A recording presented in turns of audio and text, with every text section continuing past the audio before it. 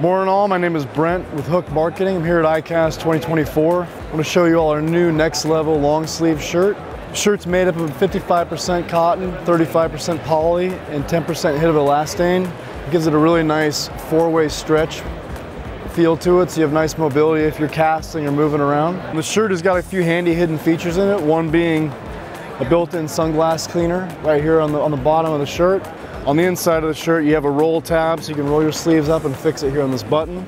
You've got two Velcro security pockets on the chest. You want to store tippet or whatever it is in there. And if you look at the entire back of the shirt, you have these small perforations, which really helps a lot with breathability in some of the areas where you, you tend to really have a lot of heat buildup, including under the arm. It's also offered in a short sleeve in a couple different colors. Same features on the back, perforations, and all of our next level shirts are going to be available in spring of next year, so take a look at hukgear.com and keep an eye out.